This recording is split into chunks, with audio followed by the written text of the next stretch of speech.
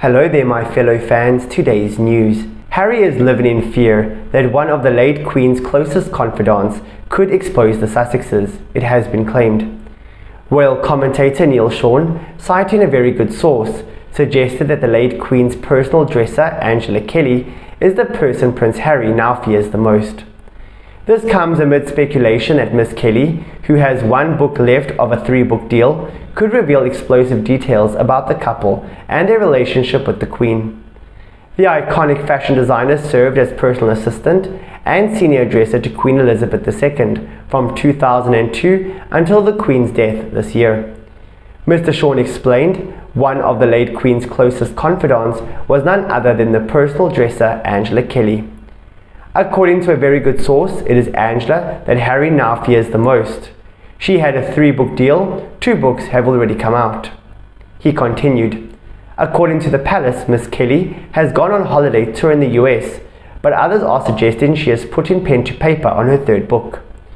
We know that the late monarch would have discussed many private things with Angela, and this is worrying Prince Harry.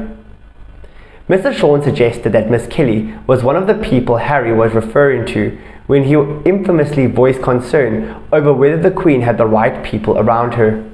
The royal commentator added, this could be Miss Kelly's opportunity to give her own version of events and personal thoughts on Megxit, Meghan Markle, Prince Harry, as well as Prince Andrew.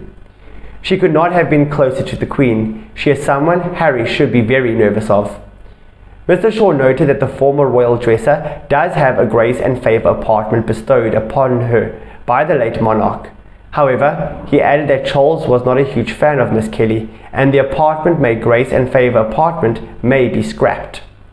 The 65 year old moved into Windsor during the COVID lockdown as part of the HMS bubble team and helped Her Majesty with day to day care. The Queen invited Miss Kelly to move in full time at Windsor Castle just three months before she died. The late monarch granted Miss Kelly her personal permission to secure a three book deal of memoirs writing about her time working for the royals. Ooh, more drama on the horizon. Do we expect any less? What do you guys think? Leave your comments below, like and subscribe. Goodbye for now.